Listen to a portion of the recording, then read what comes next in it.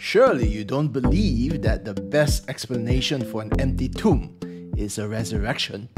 There must be tons of other far more reasonable explanations for that. Really? Well, I've got a cold case detective who says otherwise. Hi, my name is Terence, and I'm your host for Reading and Readers, a podcast where I review Christian books for you.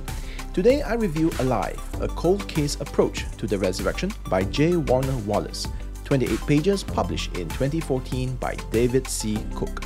Available in Amazon Kindle for $1.99. It's also available in Faithlife for free for this month and this month only. Uh, J. Warner Wallace is a cold case detective. In his website, it says here, I quote, J. Warner's professional investigative work has received national recognition. His cases have been featured more than any other detective on NBC's Dateline, and his work has also appeared on Court TV and Fox News. End quote. Later it says, I quote, J. Warner was awarded the Police and Fire Medal of Valor, Sustained Superiority Award for his continuing work on cold case homicides, and the Cops West Award after solving a 1979 murder. Relying on over two decades of investigative experience, J. Warner provides his readers and audiences with the tools they will need to investigate the claims of Christianity and make a convincing case for the truth of the Christian worldview. End quote. Now, J. Warner was not a Christian who decided to study the Gospels and to write a defense of the faith. He was an atheist. He did not believe in this Christian stuff. So when he came to the evidence box that is the Gospels, this hard nosed detective could have concluded that it was all, everything was just simply a big hoax. The surprise, which is not a surprise to Christians, is the evidence does demand a verdict and that there is a strong case for Christ. Dr. Norm Geisler, Chancellor of Veritas Evangelical Seminary, had this to say of J. Warner Wallace. I quote Few professions better prepare a person to follow the evidence than being a detective, and few detectives are better prepared Christians to be apologists than J. Warner Wallace. End quote. So that is his shtick. J. Warner Wallace wrote Cold Case Christianity, a homicide detective investigates the claims of the Gospels. Uh, including this book, he has written altogether nine books, and today we review his shortest book, Alive A Cold Case Approach to the Resurrection. The book is so short that in the time it takes for you to listen to this review, you could have read and finished it. But let's carry on with the review. Do you like watching CSI, or Sherlock Holmes, or Columbo, or Murder She Wrote? Oh, do you remember that show? I love a good mystery. I finished multiple readings of Agatha Christie's a series of novels. Now, every one of those uh, mystery novels has a dead body, and here we have one too. To explain how he will investigate the resurrection, Wallace, the homicide cop with over 20 years of experience, gives us a quick primer on how to think through the evidence. So he starts with uh, let's say you have a body, a dead body in front of you. So, what are your options? What are your possible explanations? Well, it could be a natural death, or an accidental death, or a suicide, or a homicide. I can't think of any other possibilities. Then, what you do is that you look at the facts. So, you look at the body and you see what, what you see will help you cross the options off your list. So, uh, as you find out, and I don't want to give too much from the book, then as you find out uh, this is so and so, you may actually cross off it's not a natural death, it's not suicide, and so on. So that is what a homicide detective actually has to go through, and that is what uh, that sort of process, that sort of thinking is what uh, Wallace brings over here. The reason why this uh, cold case investigation has been so attractive to many people is because Wallace doesn't front load it with presuppos- presuppositions. Wallace doesn't expect, or um, he doesn't assume, that you believe that the Bible is the inerrant word of God. Wallace just comes in and just asks, just the facts, ma'am. He doesn't want to know about uh, about inerrancy in that sense. He just wants to know uh, what actually is the facts. What are actually the facts? And this is the way Wallace puts it. I quote. Dr. Gary Habermas and Professor Mike Licona have taken the time to identify the minimal facts or evidences related to the resurrection. While there are many claims in the New Testament related to this important event, not all are accepted by skeptics and wary investigators. Habermas and Licona surveyed the most respected and well established historical scholars and identified a number of facts that are accepted by the vast majority of researchers in the field. So then, with that uh, list, uh, Wallace then picks four of them, and he says that these four minimal facts or evidence is, I quote, the most substantiated by both friends and foes of Christianity. And they are number one, Jesus died on the cross and was buried. Number two, Jesus' tomb was empty and no one ever produced his body. Number three, Jesus' disciples believe that they saw Jesus resurrected from the dead. Number four, Jesus' disciples were transformed following their alleged resurrection observations. And so those are the four minimal facts or four evidences, and now we have to consider what are the possible explanations. And, and uh, Wallace says that each of these uh, potential explanations have problems, and that includes the Christian explanation. He goes through seven of them, seven explanation, and I do think that it is a fairly comprehensive one, a comprehensive list, or at least the main ones are here. So there is a high chance that if you are talking to a non-believer about the resurrection of Christ, then one of these explanations will come up as an alternate as an alternate solution to the question of how uh, what happened to Jesus at the cross. Now, this is where the book uh, shines because the explanations, which uh, I mean, you talk to people and they may sound reason- reasonable at first. I mean, uh, when they say that maybe it's because the disciples and so and so, you might have been stumped because you think, hey, that, that sounds like a good explanation. That sounds quite plausible. I mean, anything. Is more plausible than a dead guy coming back to life, right? So here's the thing. The homicide detective then tells you that actually all of the alternative explanations are do have their problems okay? And i i could list them. Normally i just list like a table of contents and just tell you what you can expect from the book. But i think i don't i don't want to spoil the book. Uh, i think it's kind of fun to read for yourself what are the other possible explanations for the resurrection. So I won't spoil that part of the book here. Um, but I will give you one example which um, I think is a common explanation. So when you look at the four facts of the resurrection, uh, the easiest explanation is just to say that the disciples were mistaken. They thought Jesus died, but he didn't. And that's why the tomb was empty. And that's why there was no body, because he didn't die. And that's why when the disciples believed that Jesus was resurrected, it's because they saw Jesus in front of them, because Jesus didn't die. And their belief that there was a resurrection, when in fact there wasn't, transformed the disciples and thus explain everything that they did later on, even willing to die because they truly believed that Jesus came back to life. Ta-da! That was such a simple explanation. There was no need for a convoluted resurrection event. My, my, how gullible Christians must be, and how intelligent I must be, because I thought of this. And 2,000 years after an army of skeptics, and they couldn't turn this resurrection into an open and shut case. Yeah. You see, about that explanation, the defense would like to call to the witness uh, Detective J. Warner Wallace. And the defense would like to remind everyone who is J. Warner Wallace. He is a detective, a homicide detective. He knows dead bodies. And he tells you here that everybody would know whether they have in their hands a dead body or a live one. Wallace writes, I quote, It's been my experience that witnesses who first come upon the dead body of someone they care about quickly check for the most obvious sign of life.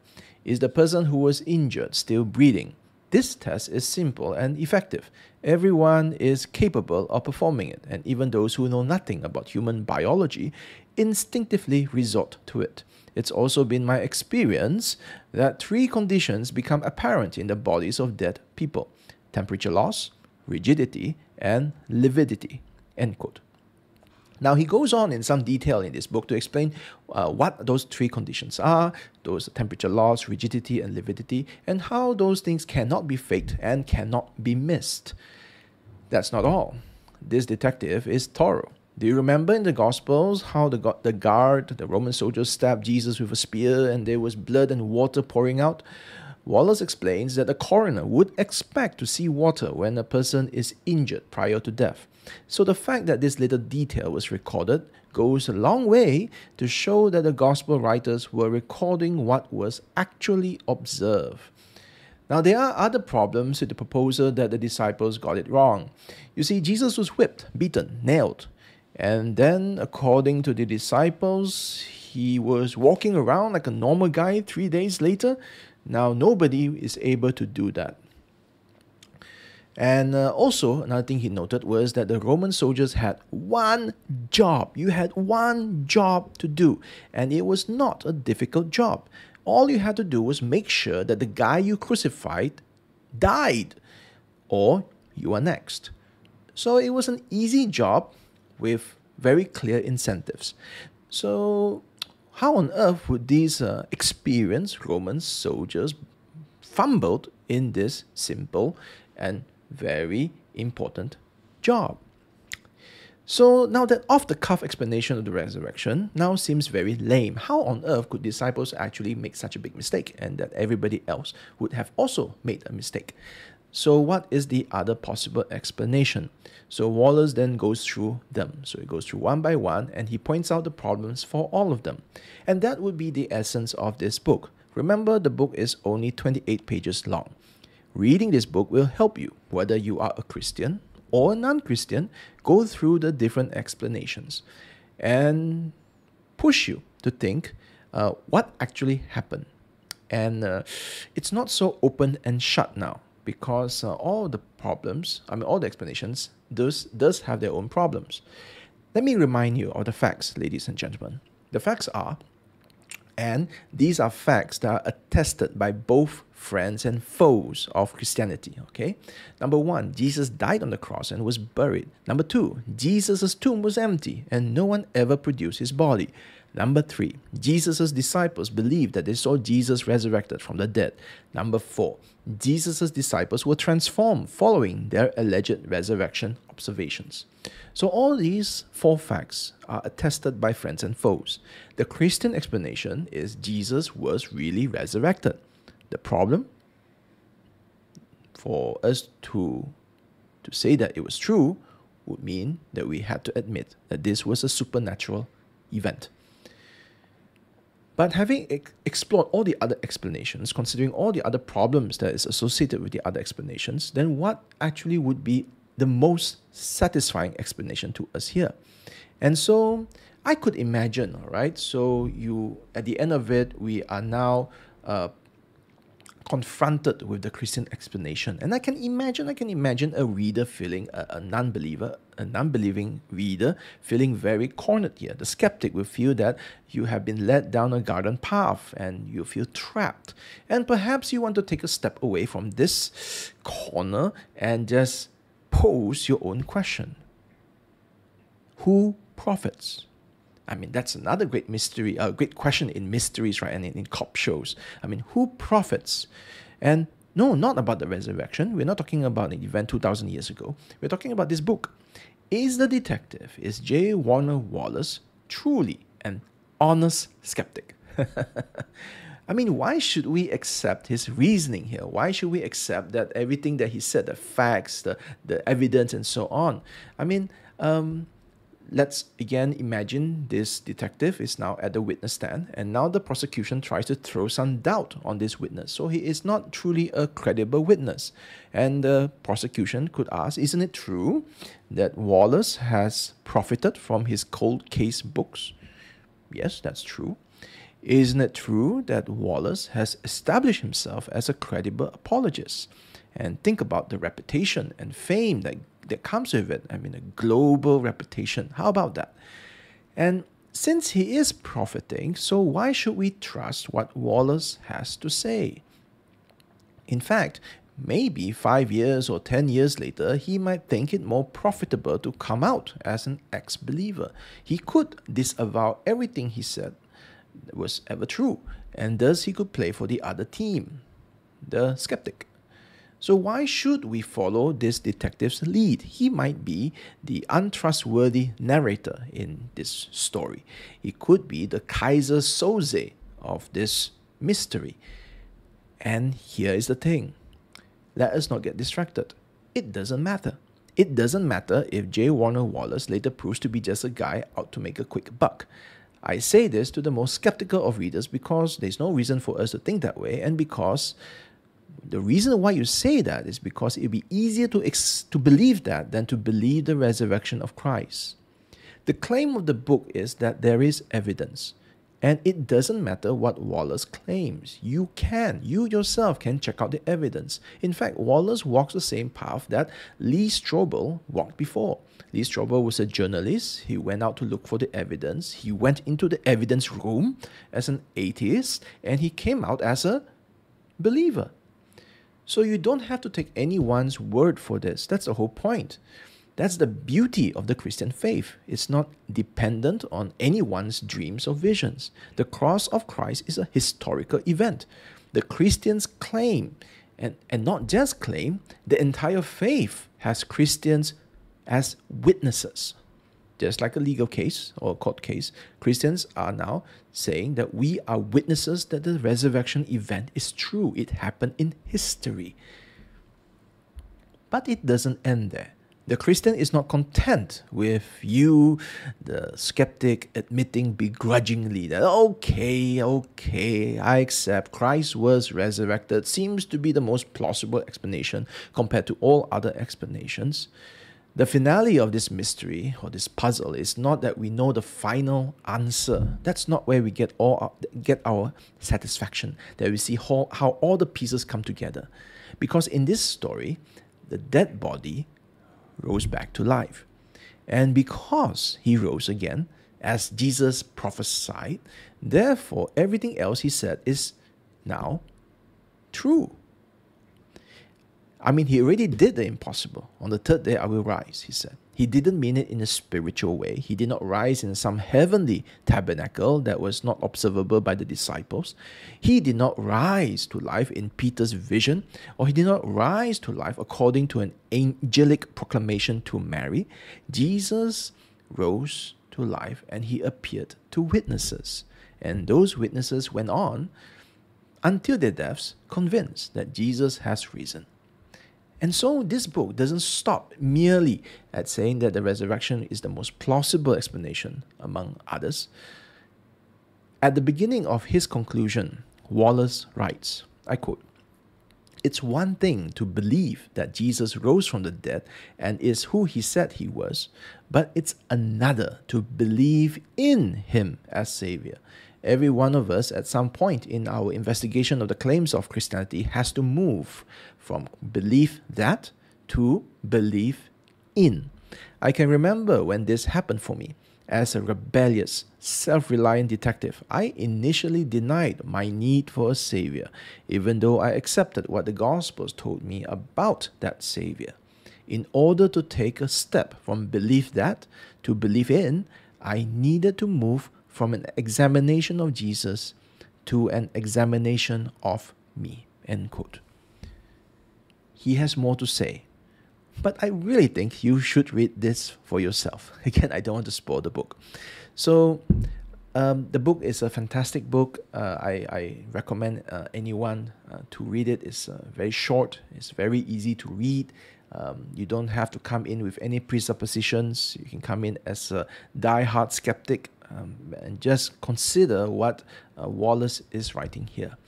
Uh, if you are a Christian, it's a nice refresher. You probably know some, if not all, of the alternate explanations, but it's nice to get reminded of them and to see how uh, this uh, cold case detective uh, puts it together. Okay, so that's quite nice. If you are a non Christian or you know someone who doesn't believe, then and and you know they might think that there is a perfectly reasonable explanation for the resurrection. Or they can't think of one but maybe uh, anything is better than a dead guy coming back to life. And in that sense uh, this book would be great because it goes through the different explanations and then it provokes thought because really after going through all those explanations what else could be a better one so I do recommend this for uh, the non-believer. Um, in fact, I would even say this, although this book is available for free in Faith Life, it might be hard to pass over digital copies and so on. I suggest that after you download this book because it's free. So you download it, you read it, and then you might might want to consider getting a stack of this book, which only costs a dollar and ninety nine cents.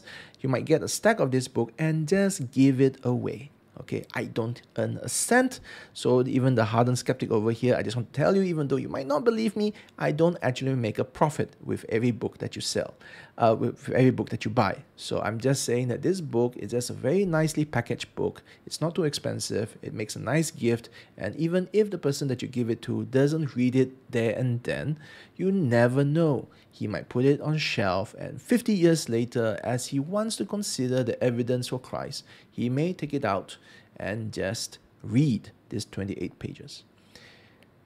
The nice thing is, again, uh, this book is so short that people who would normally not read and finish a book might actually want to. And Wallace, I just want to assure you, writes well. He doesn't demean the skeptic's position. He came from that position, so he doesn't demean, nor does he aggressively push the, the Christian agenda, sort of thing. All right, he has a very um, "these are the facts, ma'am" sort of tone, and the facts say that Jesus has risen. This is a review of Alive, a cold case approach to the resurrection by J. Warner Wallace. It's $1.99 in Amazon Kindle and it's free from Faith Life for February and only February. Why do listeners subscribe to Reading and Readers? Because it reviews a free book every month? Or is it because the reviews are very insightful? Or maybe it's because it covers a range of books from children's fantasy novels to tough theological books. Why don't you investigate why by checking out the evidence? Subscribe to Reading and Readers in Apple Podcasts, Spotify, or your favorite podcast service, and never miss a book review.